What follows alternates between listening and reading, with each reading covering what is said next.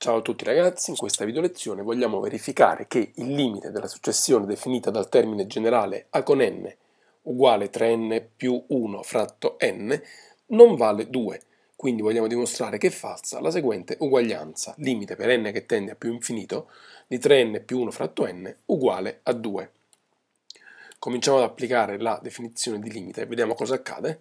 Affinché questo limite sia verificato, dobbiamo dimostrare che comunque si scelgono epsilon maggiori di 0, quindi per ogni epsilon maggiore di 0 deve essere possibile determinare almeno un numero n con epsilon appartenente ad R scelto in maniera tale che per ogni n maggiore di n con epsilon con n appartenente ad n grande deve essere verificata la seguente disuguaglianza, cioè modulo di 3n più 1 fratto n, meno 2, che è il valore del nostro limite, minore di epsilon.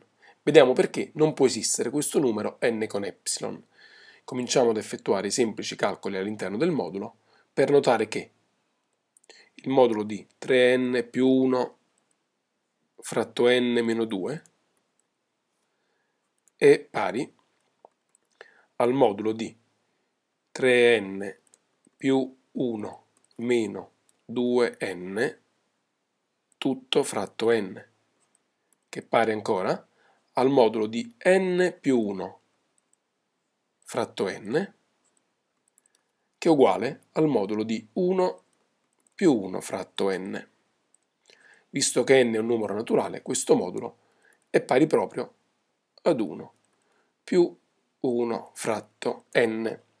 Tutto questo deve essere minore di epsilon, comunque si scelga epsilon positivo.